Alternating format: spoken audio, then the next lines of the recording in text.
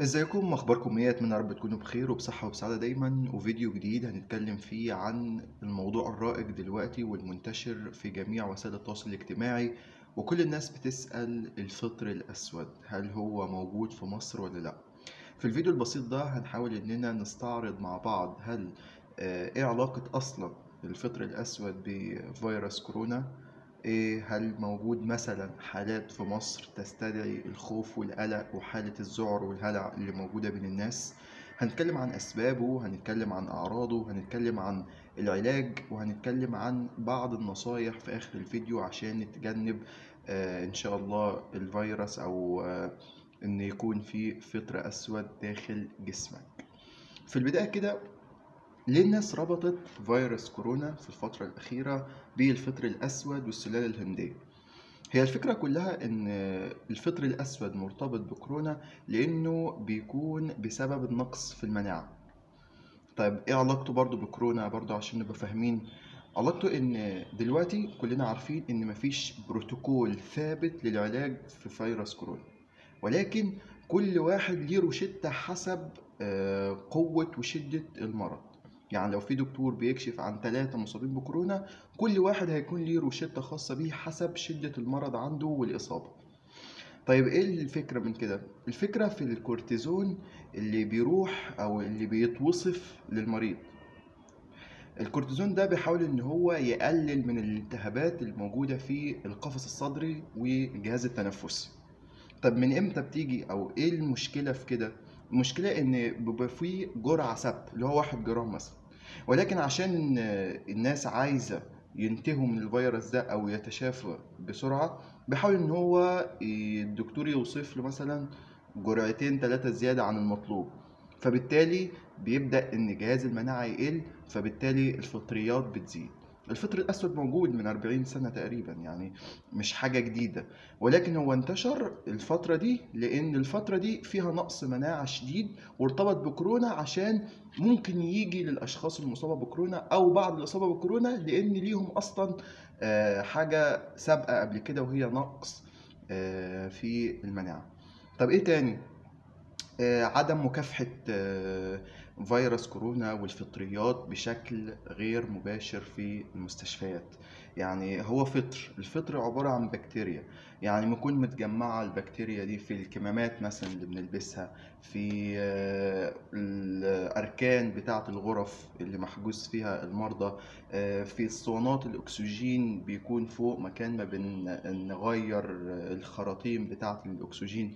كل دي حاجات خلت الناس تربط فيروس كورونا بالفطر الأسود والسلالة الهندية اللي موجودة في الهند. كمان الهند تقريبا امبارح أعلنت عن حوالي 2000 إصابة فهي كلها دخلت في بعض. طيب هل في حالات في مصر؟ وده السؤال الشائع دلوقتي في الفترة دي. هل في حالات في مصر فعلا؟ هو امبارح رئيس اللجنة العلمية لفيروس كورونا أكد مع عمرو أديب إن في من حالتين لثلاث حالات موجودة في مصر في محافظات مختلفة. ولكن هل دلوقتي السؤال نخاف ولا ما نخافش؟ هو بصراحة في حاجتين. نخاف وما نخافش. نخاف ليه؟ لأن الفيروس ده قاتل أو بمعنى صح 50% من اللي بيصابوا فيه بيؤدي للوفاة. ولكن هو مرعب ليه؟ لأنه آه، ممكن لو انتشر في الجسم هو بينتشر بسرعة ولو انتشر في الجسم بيحاول استئصال المنطقة اللي بدأ فيها عشان ما تنتشرش في باقي الجسم. طب بيبدأ فين؟ بيبدأ في الفك والوجه. وبيوصل بالعين ولا قدر الله لو الحالة بقت صعبة بيوصل للمخ وممكن أن تؤدي إلى الوفاة طب هو مرعب ليه؟ لأنه بيتم استئصال استئصال الجزء فيه يعني لو جه في عين مثلا بيتم استئصال العين نهائيا أو الفك نهائيا أو لو في الجيوب الأنفية لأن هو بيبدأ بالجيوب الأنفية فلو بالجيوب الأنفية ممكن يتم تنظيف المسالك بتاعة الجيوب الأنفية كلها. فهو ده مرعب. طب ليه ما نخافش؟ الحالة التانية أنا قلت نخاف وما نخافش. ما نخافش إن هو مش معدي. يعني مش زي فيروس كورونا بينتشر بالعدوى بين الناس. آه طيب أسبابه إيه؟ أسبابه قلنا قبل كده إن هو النقص الشديد في المناعة. وأيضا بسبب مكافحة الفطريات. يعني من يعني ما نكونش موجودين بكثرة في المناطق اللي فيها طين المناطق اللي فيها أتربة المناطق اللي فيها تجمعات للبكتيريا لأن دي هي المكان الوحيد اللي ممكن تصاب فيه بهذا آه، الميكروب أو هذا الفطر الأسود. تمام؟ طيب إيه أعراضه بقى؟ أعراضه اللي بتنتشر دلوقتي بين الناس زيها زي أعراض كورونا تقريبا الحمى وتورم في الوجه وصداع أو احتكان في الزور وألام في الصدر وضيق في التنفس. طيب لو وصل للجهاز الهضمي ممكن يكون في أعراض تانية؟ ممكن يكون في أعراض تانية. عندك مثلا زي ما هو مكتوب دلوقتي ألام في البطن غثيان وكيء وحدوث نظيف حدوث نزيف في الجهاز الهضمي. آه طيب علاجه إيه؟ هي الدكاترة أو كل الأطباء أجمعوا إن علاجه في البداية سهل جدا لكن لو انتشر في الجسم ده اللي مشكلة وبيتم استئصال آه الجزء اللي بدأ فيه يعني بيتشال تقريبا كده عشان ما ينتشرش في باقي الجسم ولا قدر الله يسبب مثلا الوفاة. طيب في بعض النصائح قالوها منها رئيس اللجنة العلمية ورئيس هيئة التسمم في آه، امبارح برضو على بعض القنوات قالك إنك أول حاجة تبعد عن التدخين ميكروبات كتير آه، تبعد عن آه، الأماكن اللي فيها الطين الاتربة الكتير الدخان عوادم السيارات تبعد عن المخدرات تبعد عن الشيشة تبعد عن أي حاجة فيها دخان أو ليها علاقة بالاتربة ده هيخليك إن أنت تقي نفسك وتقي كل اللي معاك بنسبة كبيرة جدا.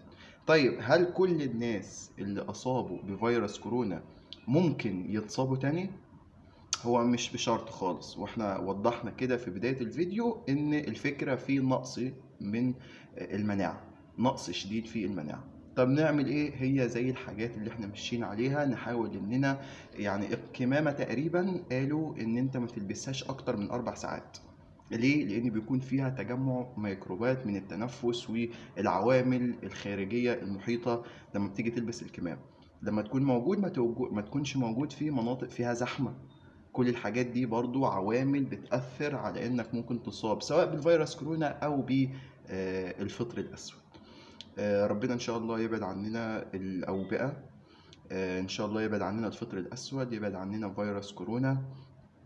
آه، نحاول إننا إن شاء الله الفترة الجاية آه، نكون حريصين أكتر. إحنا تقريبا دلوقتي في الموجة التالتة وفي مستشفيات مليانة. في بعض الحالات بدأت تقل في بيان وزارة الصحة ولكن المستشفيات فعلا مليانة. وفي دكاترة بتأكد إن إحنا خلاص في الذروة آه، بتاعة الموجة التالتة.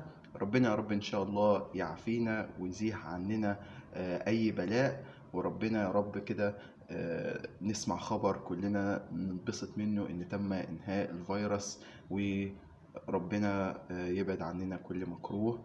فلو استفدت من الفيديو يا ريت تنشره عشان يستفاد أكبر عدد كبير من الناس. واشوفكم على خير في فيديو جديد. مع السلامة.